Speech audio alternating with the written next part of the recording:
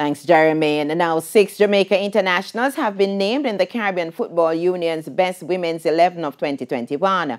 After notching 13 goals in 21 appearances last year, Khadija Bunny Shaw headlines the list. She's joined by Chelsea midfielder Drew Spencer, who won the English treble last season after winning the Women's Super League, the Women's FA Cup, and the League Cup. The other Jamaicans in the 11 are Captain Konya Plummer, Havana Solaun, Allyson Swaby, and Rebecca Spencer. The 11 is completed by two Dominicans, one Haitian, one Puerto Rican, and one uh, Trinidad and Tobago International. The Reggae Girlz will begin action in the 2023 FIFA Women's World Cup qualifiers on February 17 against Bermuda.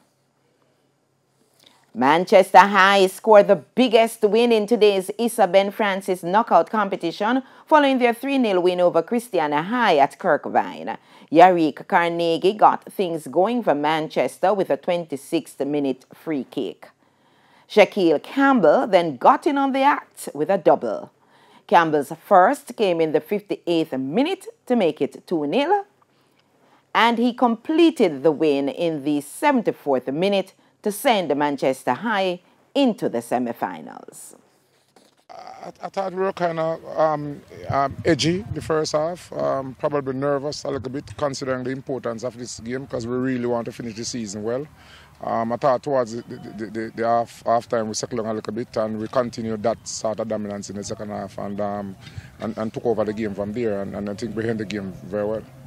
Edwin Allen ousted Cornwall College 2-0 at Drax Hall.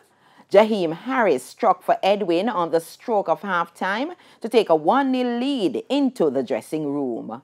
They were pegged back in the second half when Dante Scoffrey pulled the Cornwall level. But Jaheim Thomas restored Edwin Allen's lead in the 54th minute to send them into the last four. We have to appreciate what, what we came for. And what we came for is the three points, the win, right? And it is better than even going into the lottery, which they call penalties. You understand? Yeah, man, right? But on and all, we're thankful for the win. To motivate the fellows is a bit difficult at this point in time, considering they, they make it seem that the Ben Francis is a, is a loser's cup. And, and in the mindset of young ones, to tell them that it is very difficult to motivate them. And of course, that's correct. That score is Edwin Allen who defeated Cornwall College 2-1. Over at STETHS, the home team beat uh, um, Frome 2-0. Frome got the bet, no, rather, Frome got the better of Munro College 1-0.